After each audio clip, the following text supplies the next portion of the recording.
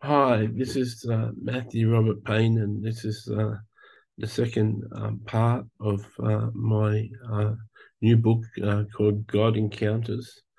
Uh, this is the first story. I had a friend who prophesied that I was going to have a spiritual promotion and there was going to be uh, a number of angels that uh, were allotted to me. Uh, he said uh, in his prophecy that I would know the name of the head angel. Um, and uh, I'd been having encounters with a group of 2,000 angels um, who each had 3,000 angels that they were in charge of, I was told. So the total amount of angels was 6 million. And uh, they first came to my house one time. Well, I'd seen them other times uh, lining across the road uh, and visiting me and waving at me. Um, but one time they came to my house and um, they're waiting to be dispatched, the Holy Spirit uh, told me that I had to send them on an assignment, and I send them, I sent them on an assignment into the states to uh, minister to sexual abuse uh, victims um, and uh, go into the dreams of sexual abuse victims. So I dealt with angels before, and when uh, he said that um,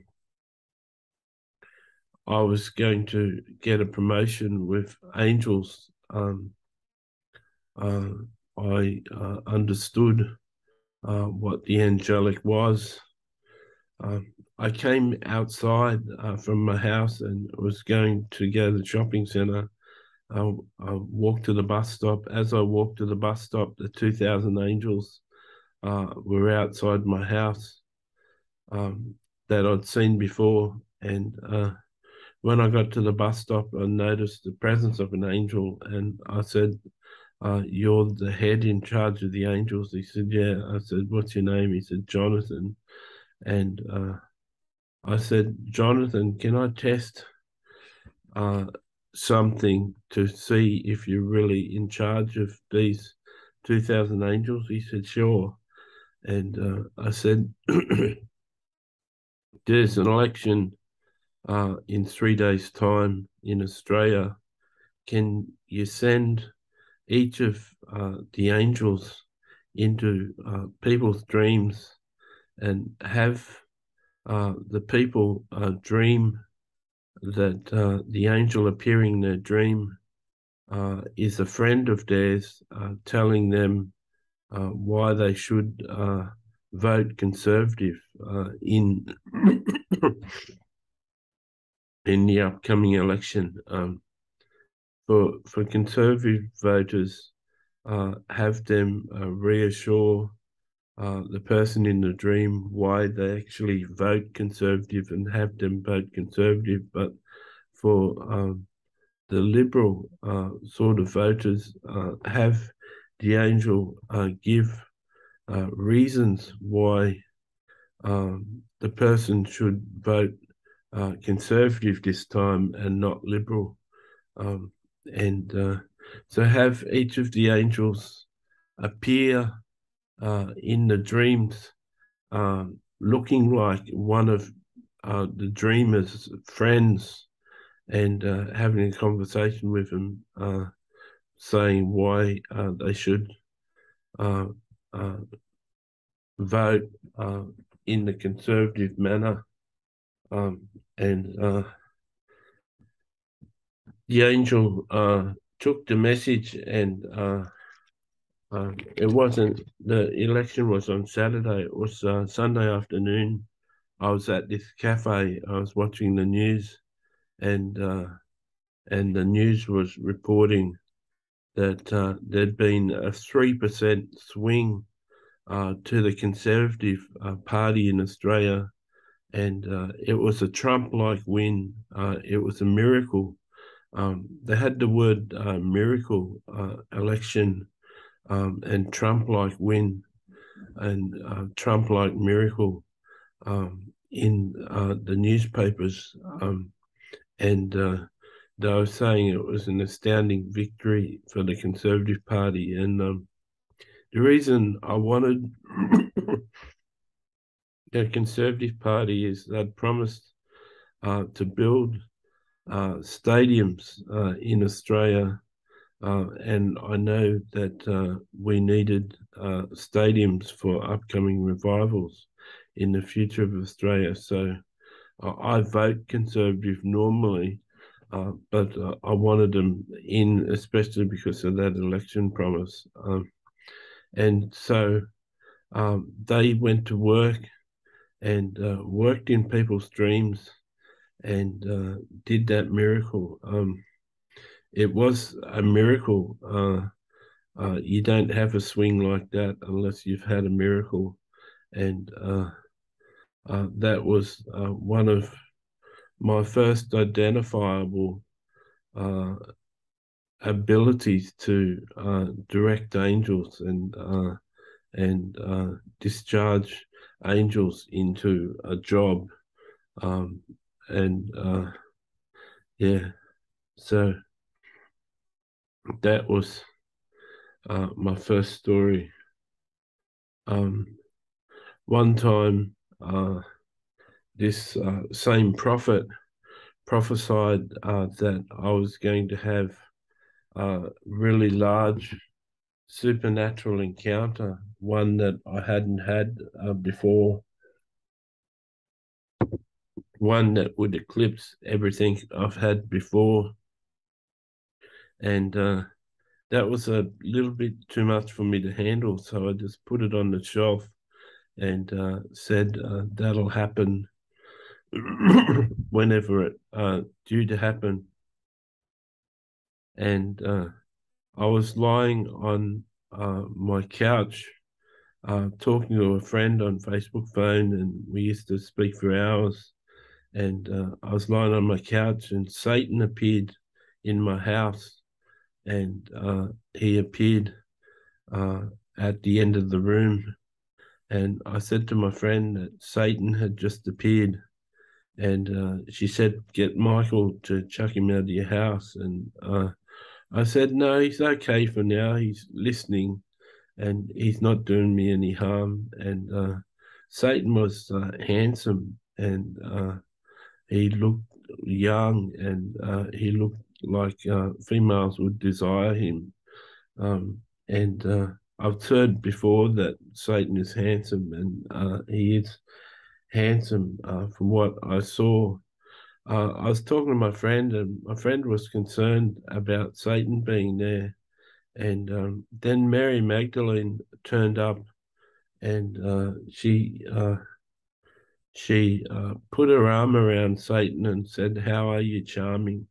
Well, as soon as she put her arm around him, uh, he disappeared. Uh, the anointing and the power in Mary Magdalene must have drove him away. It must have been too much for him. Um, I'd often um, had a doubt over a woman uh, whether she had a wrong spirit, and I used to put my arm around them to test how they reacted uh, to that. So um, people can have a bad reaction uh, from having your arm around them. Uh, besides just the male having their arm around a single girl, um, uh, it can have a bad reaction when it's spiritual. So that's what uh, happened uh, with uh, Mary Magdalene. Um, soon, uh, other guests from heaven started to turn up in my house. Um, Enoch and Elijah turned up. Jesus turned up. The Father came and had a visit.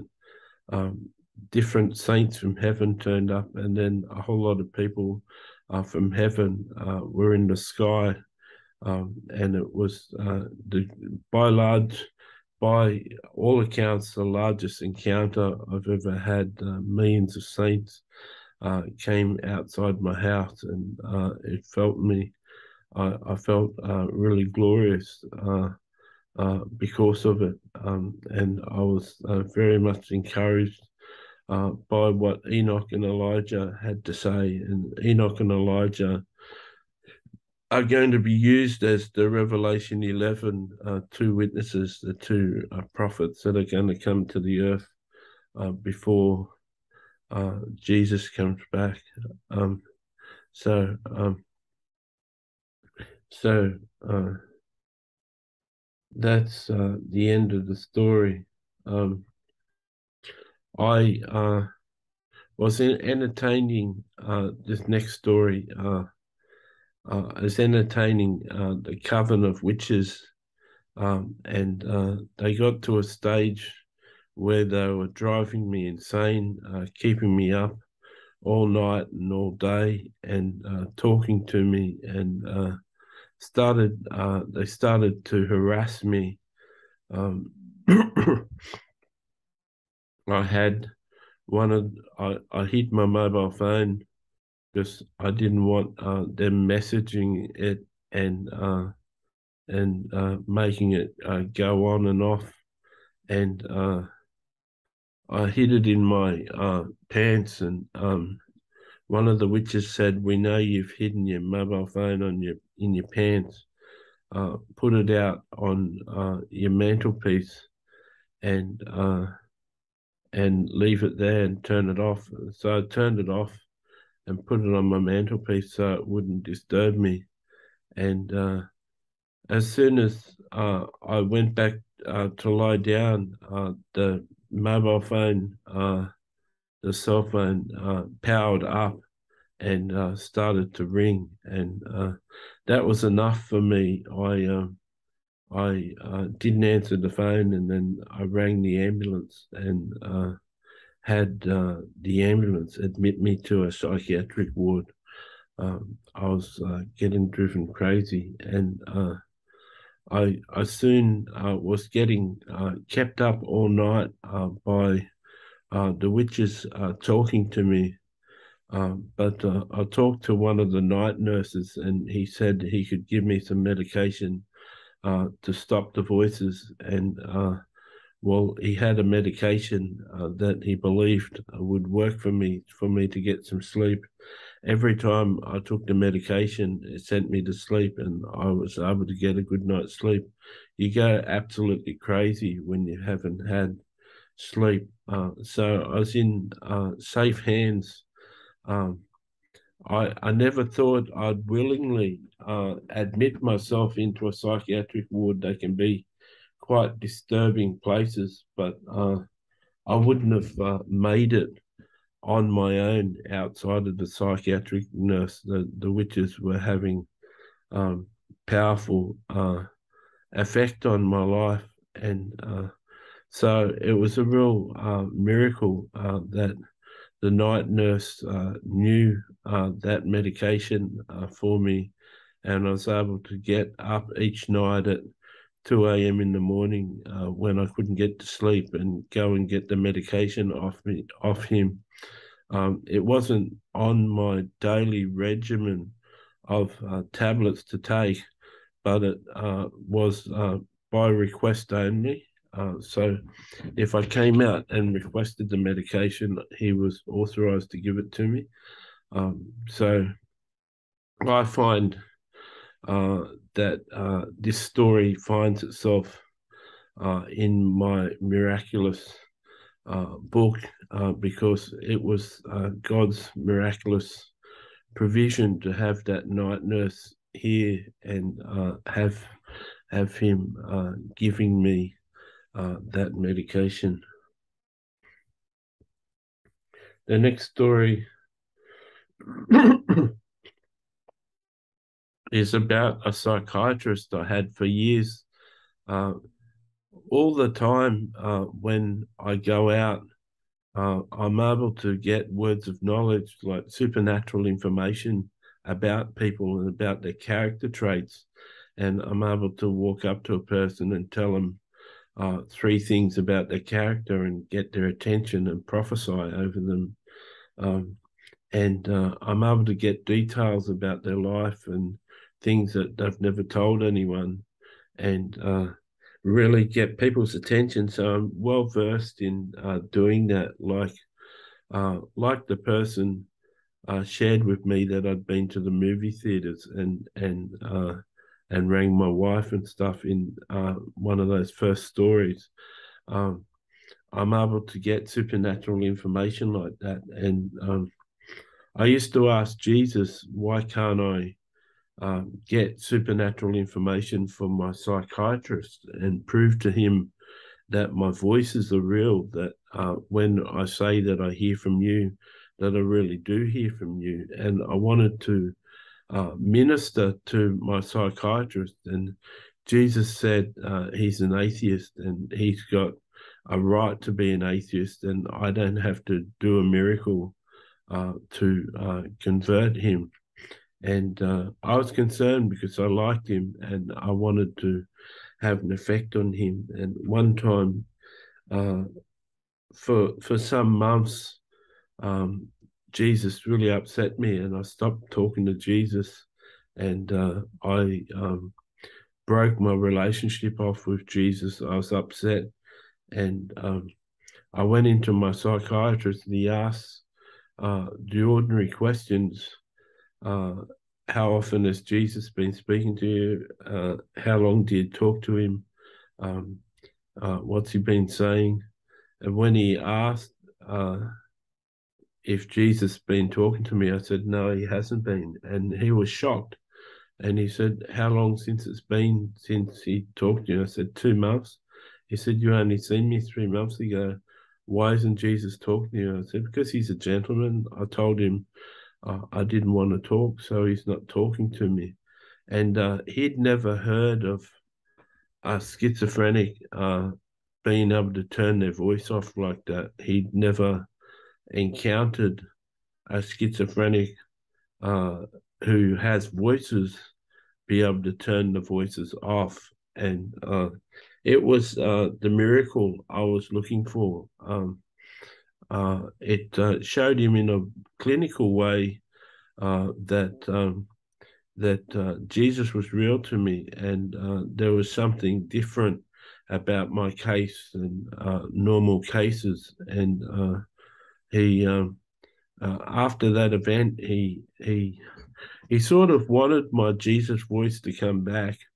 Um, when um, I next talked to him three months later, he was um, happy to hear that Jesus was talking to me again and was uh, really interested in what Jesus had to say. Um, and um, so I was able to uh, get the miracle that I was looking for uh, to uh, impact him and have an effect on his life. And uh, Jesus uh, chose uh, to allow me to go through that situation where I wasn't talking to him, uh, so I could be convincing to that guy and to that psychiatrist, and and have an authentic story for him that I was uh, upset with Jesus, and I told Jesus to stop talking to me, and he'd stopped talking to me, and uh, it was authentic and uh, he understood it and uh, but he couldn't understand uh, how the voice had stopped and it was an enigma to him and uh, it really uh, got his attention which i was really happy with because in in a way it became a real witness to him he was especially more interested in what jesus had to say after he started uh, talking to me again uh, because uh, he knew that uh, that voice could stop at any time. I'm not saying, uh, I'm not suggesting you stop talking to Jesus uh, for any reason. Um, and I'm not saying me stopping talking to Jesus was solely for that reason. Um, I've uh, been hurt by Jesus before and, uh, well, felt hurt by Jesus before. Uh, Jesus doesn't do anything to hurt us, um, but uh, it's the way we perceive things. But I felt I'd been hurt by him and uh, withdrew from him for a certain while. But uh, God used it uh, in His foreknowledge and foresight uh, to witness uh, to this psychiatrist in a way that uh, only he could, um, and a way that I didn't understand. Um, so, yeah, that's uh, that story.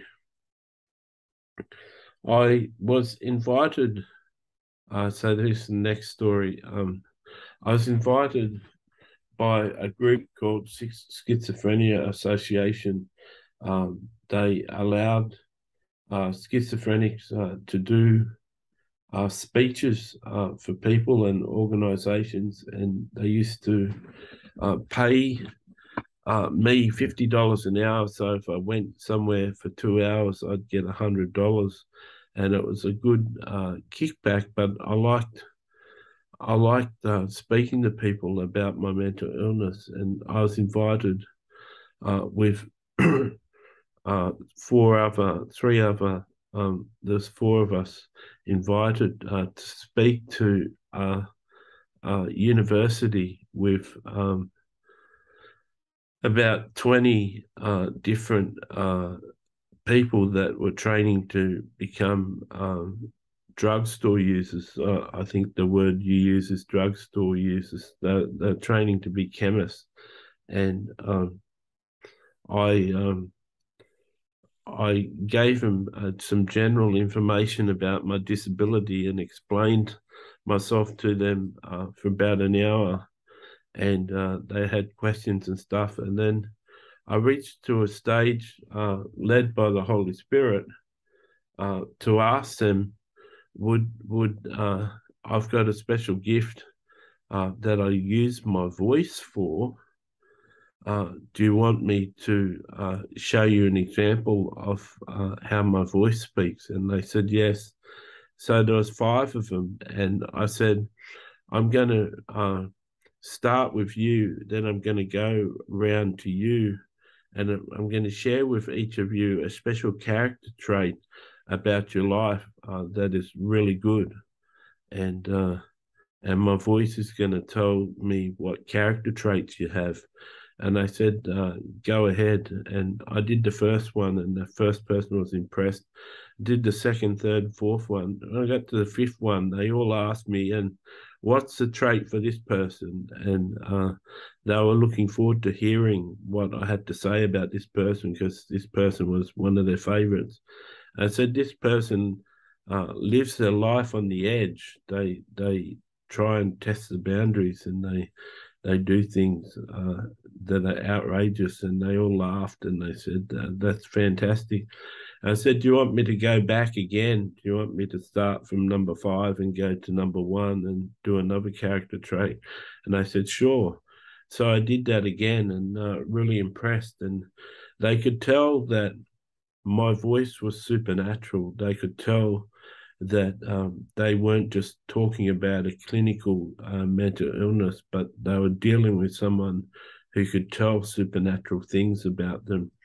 And uh, so uh, the the gift of word of knowledge is a supernatural ability, uh, ability to tell uh, good character traits a person has and I use my word of knowledge uh, gift in that way uh, many times uh, with strangers uh, when I prophesy on the streets uh, of my city.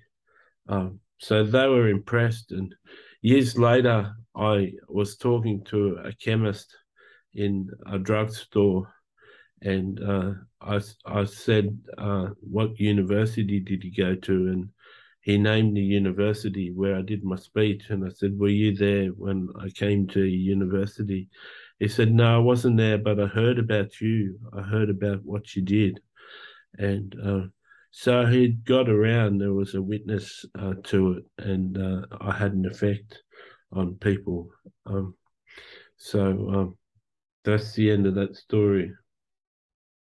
One day, next story. So one day I was uh, uh, in a really uh, depressed mood, uh, and uh, I'd uh, I shared at the beginning in part one the four times that I'd been suicidal and depression can get to a stage where you're feeling suicidal. I was in a very dark place this day and I was feeling suicidal. And uh, psychiatrists can tell when you're really down. It's their job to tell when you're unwell. And I was in a position that I should have almost been in a psychiatric ward.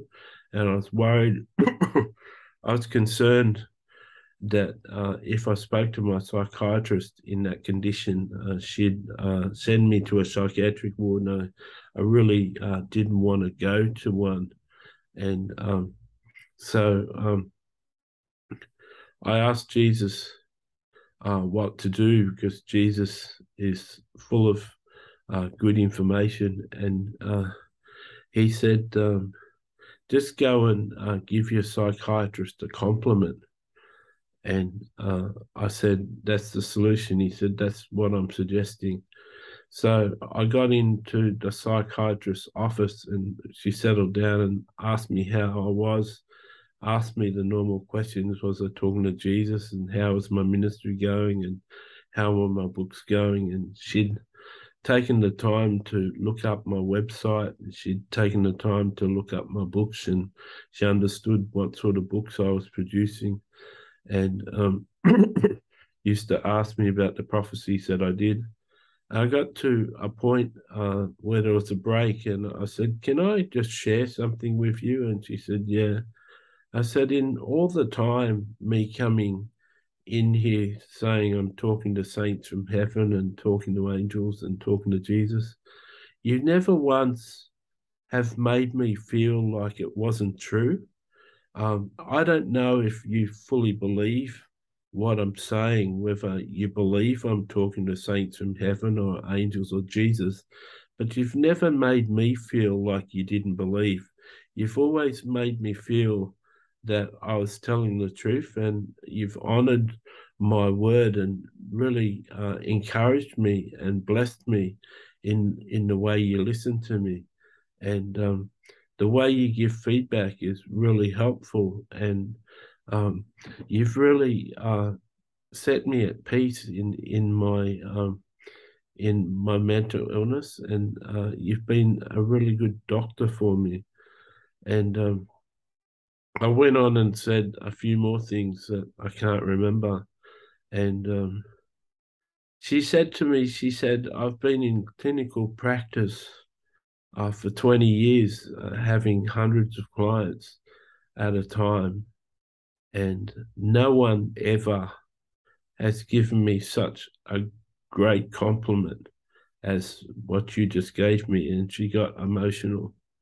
And um, it was really good. Uh, it got my focus off myself, and uh, I was encouraged to give the compliment. I'm very good at giving compliments, and uh, she was really impressed. She she said she'd never received such great feedback uh, in her life, and she's true. That was that's true to the sort of person she was. That uh, she's very honest and open, and uh, it would have been true uh, that uh, it was the best compliment she'd ever received. She just never uh, had anyone with the observation skills that I had that's able to express themselves in the English language like I did.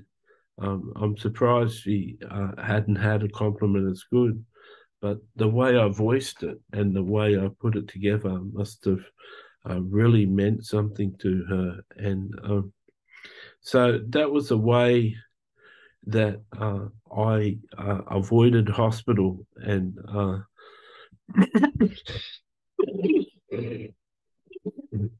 when I was in a place that could have ended me up in hospital uh, with uh, my depression and um, I was really touched that uh, it was the best compliment. She could have just said that's nice or that um, that uh, really encouraged me. But for her to go on and say that was the best compliment she'd ever received since she's been practicing as a psychiatrist really showed me how much it touched her and really showed me uh, that Jesus' solution for the day uh, was truly a solution uh, that uh, that uh, was paying dividends. Um, one time, uh, so next story, one time um, I uh, was in Social Security and um, Social Security is uh, where we get uh, our payments for disability support pension. Um, and I was on unemployment benefits at the time, and uh, I saw a person uh, that was serving me, and I said to him my frustration about filling out the forms and saying that I'm going for jobs uh, each uh, two weeks uh, when I had to register my form to get paid. I said it's making me lie because uh, God has called me to work for Him and do work for Him. And I'm not really looking for these jobs. I'm just finding the names of employers and putting them down but it's making me lie every two weeks and put this form in, and it's really annoying. I wish um, I could uh, get paid uh, for my depression that I suffer. And uh, she said, Why haven't you uh, applied for disability pension? And I said, I was told I didn't qualify. She said, I'm the person who decides if you qualify. Uh, so um, here are the forms, fill out the forms and bring them in to me, and I'll put it uh, through. Uh, so I did that. I bring in my forms, and uh, they got to a point where I had to be interviewed by their clinical psychiatrist about uh, qualifying uh, for the disability pension under depression and um, I was walking to Social Security. I was really happy because uh, getting a pension would mean I didn't have to bring my forms in every two weeks, and I'd just always get paid for the rest of my life. And um, but I was really happy and I was joyful uh, that uh, it was coming to a conclusion. And I said to uh, the Lord Jesus uh, that um, I'm really happy and I'm not going to convince anyone I'm depressed. And Jesus said, just keep going to Social Security, and by the time you get there, you'll be depressed. And so I trusted him because the Lord doesn't lie. And um, as I uh, approached Social Security, I was about 50 meters from there. It's like this dark cloud descended over me, and uh, it was real darkness came over me. And uh, when I was uh, in the interview, I just started crying. I was just so depressed. And uh, I felt this uh, darkness uh, descend on me. And I was just crying. And uh, the crying uh, during the interview was quite convincing for the psychiatrist. And the psychiatrist passed my application. Um, and I didn't find that out till later, but um, it certainly did the interview well. As I left Social Security, I was walking away from the building and the darkness lifted off me and I was happy again. I, I said, um, I'd written a screenplay where Jesus said uh, said to write a part for myself to act, and I uh, had said to him that I'm not an actor, and uh, when I was walking away from Social Security, uh, Jesus said of my performance inside, He said, "Who said you're not an actor?"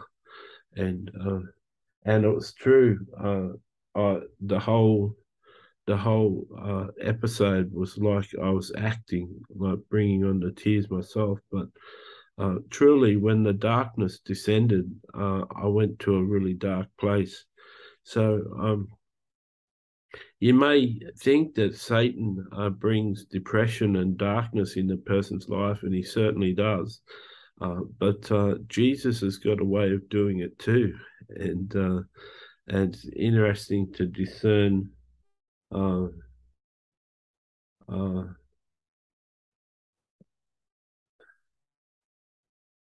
um, the difference between both of them. Um, so the next story is uh, I had a, a, a, support worker who worked with me uh, to get uh, me from a boarding house into stable accommodation with um, an agency that uh, rented houses and rented houses out cheap uh, for people uh, to get on their feet. And it was like a halfway house, which was a stage to be in that house for a while until you learn to cook and look after yourself and clean. And then you were to go on uh, with an application for government housing and cheap housing. And uh, this uh, caseworker worked with me until um, it got to a stage where I applied for government housing. When I applied for it and put my application in, had my interviews, I was rejected, and uh, they rejected uh, my claim. And uh, the lady that was my caseworker worked with uh, uh, knew someone in the Department of Housing who did the government housing, and she rang her up and she said, "Matthew's been rejected," and um,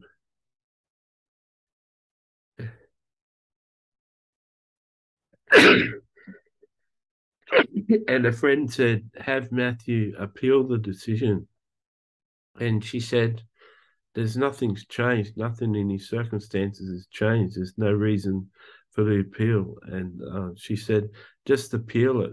So many people get depressed when they get rejected. They won't appeal. But if he appeals, he'll get it. Um, well, I went to the interview uh, to uh, have the appeal uh, seen. There was an interview uh, to uh, get the position, get the apartment and when I went to the interview, I wept like God brought this darkness over me again, and I wept, and it was really convincing uh, to uh, the people interviewing me. There's nothing like uh, tears to convince people, and uh, I cry quite often, uh, but um, when I was applying for my disability pension and I wept when the darkness came over me. They were miraculous sort of tears. And uh, when I went for my government housing, uh, those tears were miraculous too. And uh, they uh, succeeded in uh, getting me my government housing. I've had my government housing for 17 years and it's been uh, really beneficial to me. Um, and uh, it's uh, really cheap rent. It's uh, 110 Australian dollars a week, uh, which is about 440 uh, a month, and uh, that would be like 250 American per month. so it's really cheap rent. And you can imagine when I put it in your American figures, how cheap that rent is, and uh, it's a two bedroom apartment, um, and uh, it's uh, it's uh, it was really cheap.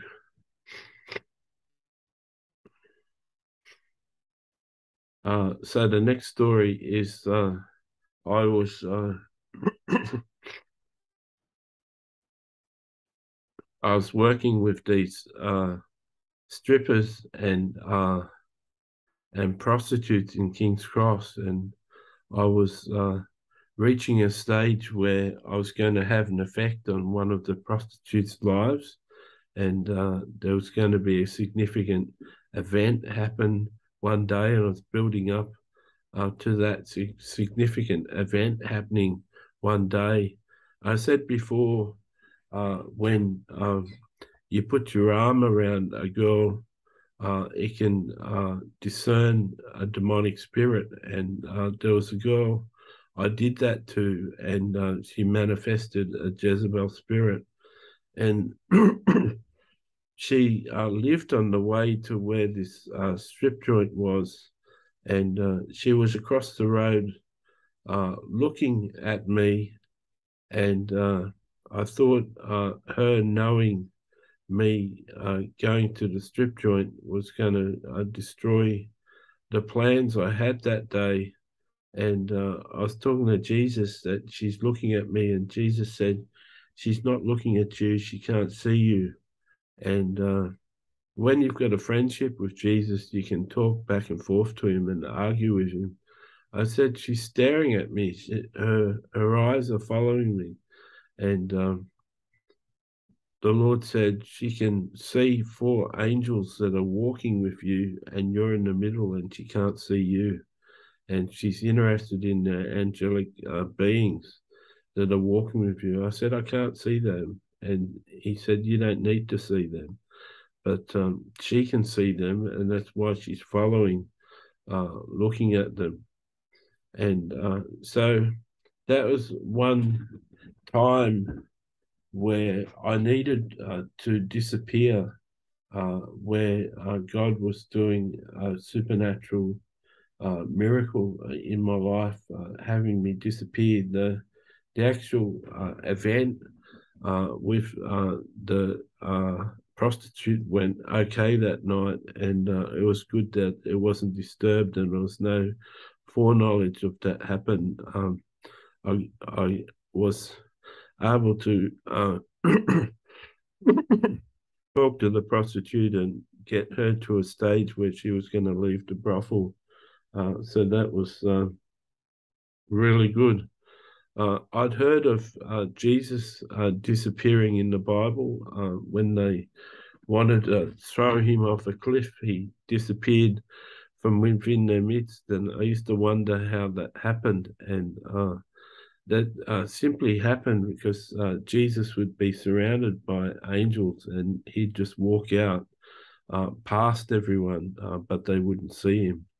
Um, and uh, so Jesus can uh, make you disappear, and he did that that day with the angels. Um, it's really good to have a life where you understand the angelic and you mix with the angelic.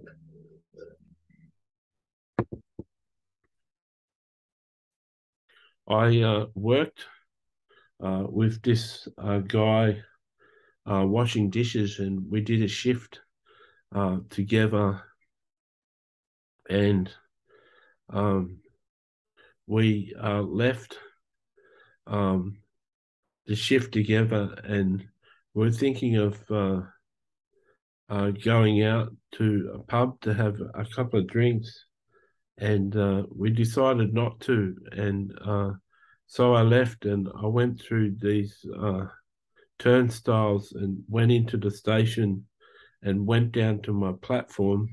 Then I decided to come back and see if he was still there. And I came back and I looked for him on the other side of the turnstiles, and he wasn't there. And uh, I thought he'd left. And he said he did the same thing. He left, then he came back and looked for me. Um, and uh, he went on to go to a pub and he got a beer and uh, put some money in a poker machine, in a slot machine, and he won $500. Um, and uh, he wouldn't have played the slot machine if I had been with him.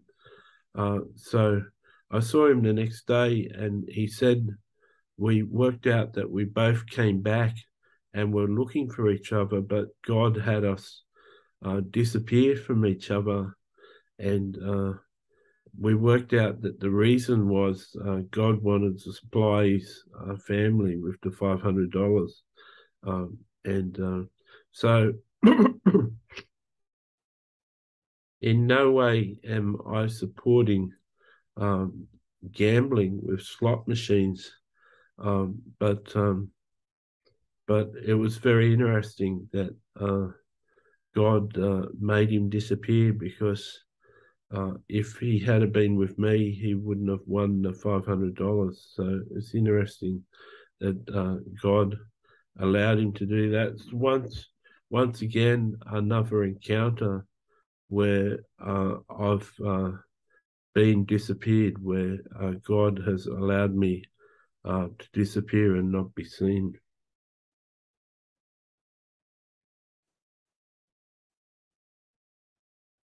Um, so the next story is uh, I was uh, in uh, Brisbane and uh, it was afternoon uh, after work and uh, I think I was driving taxis at that time, but I um I had this homeless drunk come up to me and asked me if I had any spare change. And I said, um, no, I haven't got any spare change, but I had $5 in my pocket, but I would have had to go to a shop to change the money because I needed $3 to get bread and milk at home. Um, but I could have gone to a shopkeeper and got him to change the money and given uh, the guy $2, but I said I hadn't had spare change and as he left, he went behind me.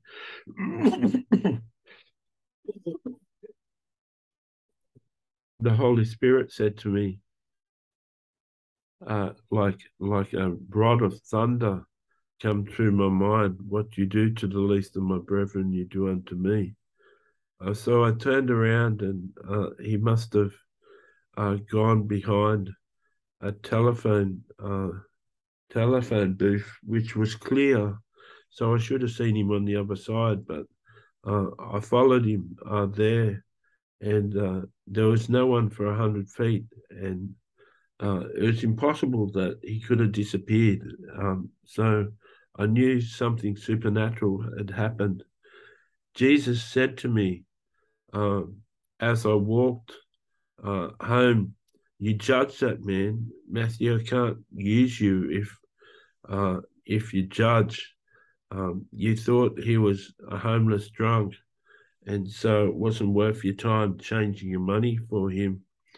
But uh, you're going to have to change your attitude uh, when it comes to broken-hearted people. If if you want me to use you in the future, I I got to um, a lights I was waiting for a set of lights, and the man came up and said, "Do you know where such and such street is?" And I said, uh, "You're lucky you asked the taxi driver." And I said, "You go one, two, three, four, five sets of lights up this road, then you take a left. You go one, two sets of lights, and you take a left." It's the second street on your right. He said, thanks. And he got $10 out and put it in my pocket. I said, I can't take that. He said, yes, you can he pushed it into my pocket. And um, then as I crossed the road, I started crying because now I had $15 instead of um, $5, and I had more than enough for bread and milk. And uh, I said, Jesus, what's going on? He says, if you look after my interest, I'll always look after yours. Um, and uh, so that was a very important lesson that I learned not to judge anyone. The first man uh, that was the homeless drunk that begged, I found out later was Gabriel, the angel, the archangel. And uh, the second man that gave me the money was also an angel uh, that uh, had given me money uh, for directions. Uh, I've never, I've given hundreds of people directions in my life. I've never had anyone give me money for directions. Uh, so I'm sure that the second uh, person was an angel. So in my life, I've uh, encountered many angels, uh, but uh, that lesson about not judging people was an important lesson, and I needed to learn it that way. I don't think I don't think I'd be the same as I am today uh, towards the brokenhearted, if that uh, encounter hadn't happened in my life, really uh, reinforced uh, uh, being in a position uh, to give to the brokenhearted. I had next story. So I had an issue with a woman who had uh, manifested a Jezebel spirit. Um, and she'd arranged for a spiritual hunt where people uh, tried to kill me uh, and my friends. And uh, she was a dangerous individual. And uh, I saw her at a Christian outreach one night and uh, was confronting her about it.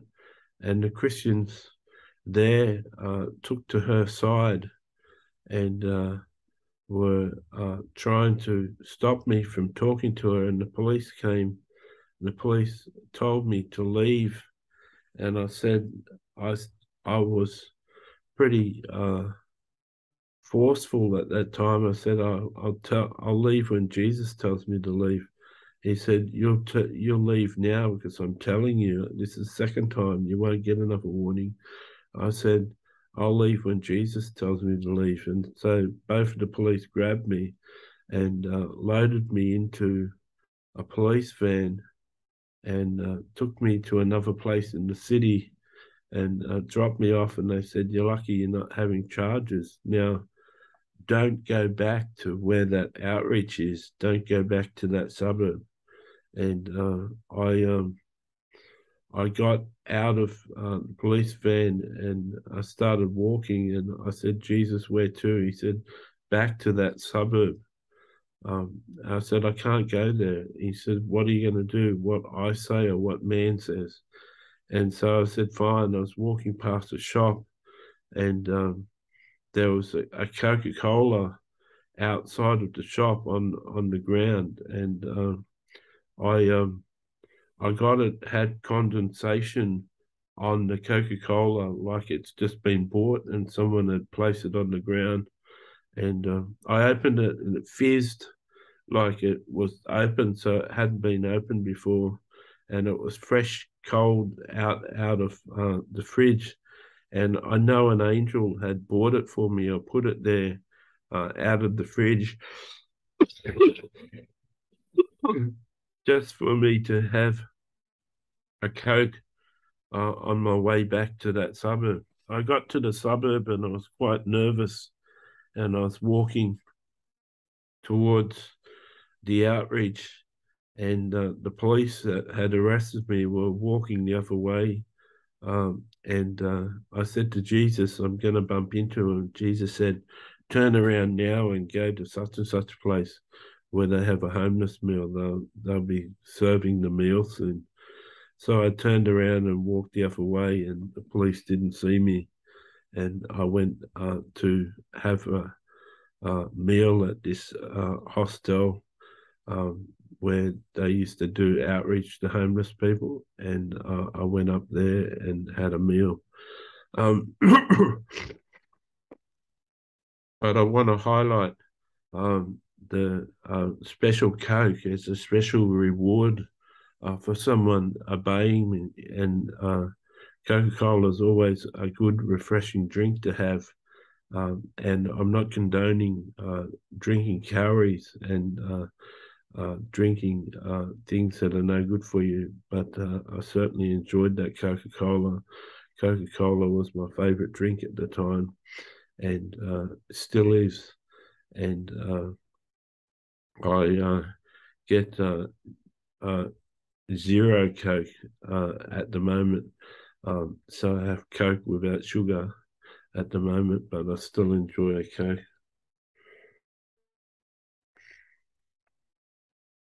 When new story, so when I was uh, had uh, witches covering my house, uh, there was higher level witches uh, coming uh, from New York, and one uh, came from New York and uh, was in my house, and uh, she introduced me to some important people, and had some important uh, people come to my house, and one of the people that she had uh, come to my house was Hillary Clinton, and I knew Hillary Clinton was a witch, and I um, was speaking to Hillary and her daughter, um, and uh, I was building a relationship with them, and I felt pretty important uh, talking to them.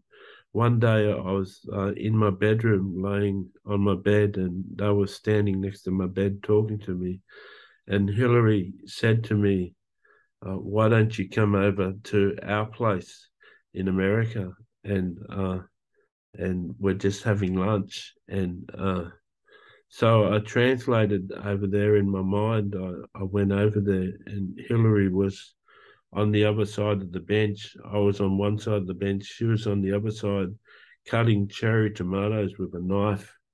And uh, I, uh, I said to her, I said, you could try and run that knife through me, but it, uh, it wouldn't work. You wouldn't get me. And Hillary went white as a ghost, which is always a sign for shock.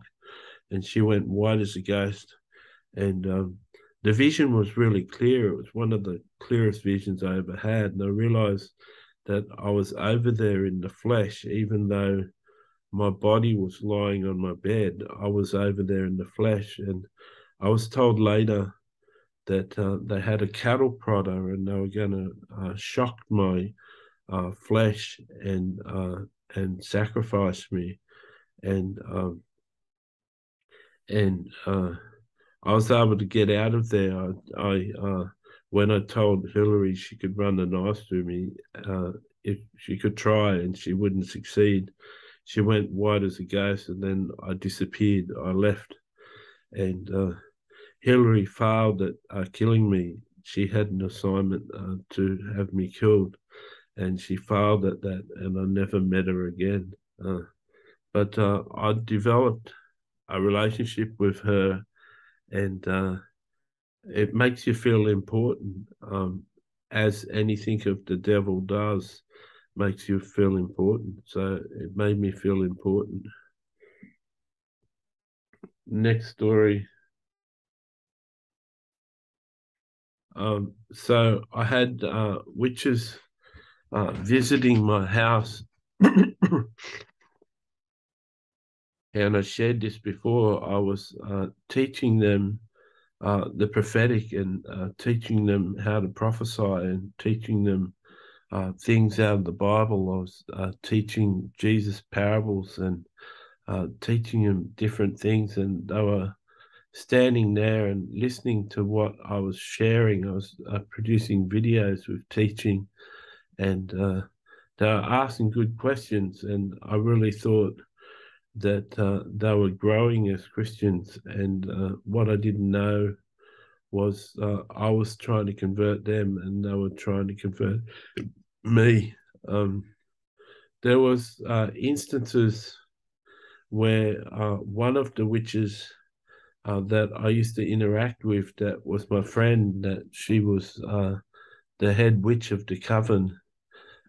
She um, she used to uh, turn my mobile phone on uh, to do uh, put a YouTube video on my phone at a certain time, uh, just to let me know that she was watching, that she was there.